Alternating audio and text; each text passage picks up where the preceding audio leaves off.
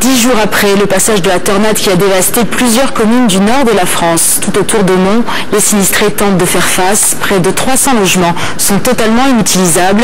La question du relogement avance lentement au cas par cas. Et vous allez le voir, la solidarité est encore très forte. Reportage Pierre Monégier et Vivien Roussel.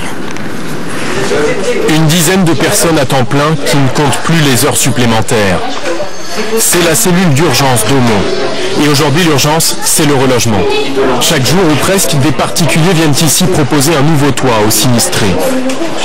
On prend tous les renseignements utiles puisque ce qui est important, c'est la grandeur du logement pour adapter la famille. Et on essaye de mettre en concordance la famille qui nous propose son logement avec une famille vraiment sinistrée qui est en urgence. Un vrai casse-tête entre les propriétaires qui ne peuvent pas payer un loyer en plus des traites pour leur maison détruite et les locataires dont le propriétaire est en vacances.